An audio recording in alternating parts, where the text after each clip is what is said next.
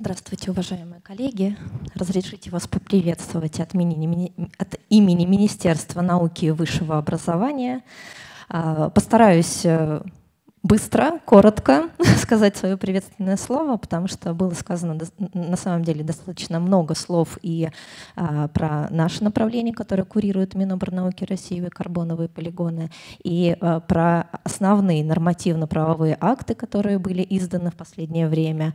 А, но хотелось бы еще отметить, э, если честно, не заметила, прозвучала ли а, климатическая доктрина, которая вышла тоже, была утверждена в а, ноябре 2023 года, где э, красной нитью э, проходит э, упоминание научного обеспечения климатической политики, климатической повестки, необходимости проведения мониторинговых мероприятий, э, прогнозирования климата и адаптации к климатическим изменениям.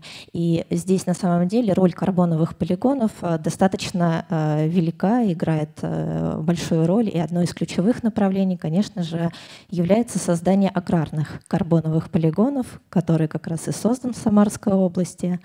А, и основная задача как раз научного сообщества а, это а, найти и установить э, взаимосвязь влияния климата на плодородие почв, на почвы, на в целом сельское хозяйство и влияние почвы, влияние растительности на изменение климата. А, и более того, разработка таких технологий, которые позволят э, адаптироваться к климатическим изменениям, не теряя в производительности, и э, увеличить поглощающую способность наших экосистем.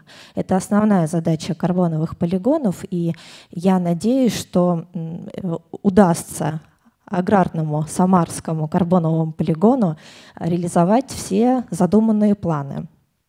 Вот. И э, ну, на самом деле часто очень звучала э, идея и постулат, что климатическая повестка нам навязана, но на самом деле, да, можно сказать, что э, у климатической повестки есть э, очень сильная политическая, экономическая составляющая. А, и опять же, науч... задача научного сообщества выявить экономическую подоплеку и экономическую эффективность реализации тех или иных технологий секвестрации или повышения секвестрации или адаптации к климатическим изменениям. А, и э, хотелось бы отметить еще одну основную задачу, одну из основных задач карбоновых полигонов – это образование. Э, вот те знания, которые будут получены э, на площадках, которые созданы и будут создаваться Далее, э, необходимо э, научиться транслировать подрастающему поколению, необходимо научиться э, делиться опытом. И мне кажется, как раз Людмиле Владимировне, и вот если посмотреть на количество участников текущей конференции, это достаточно хорошо получается сделать. Поэтому большое спасибо за то, что вы приехали, принимаете участие в, в этой конференции. Желаю вам дальнейших успехов.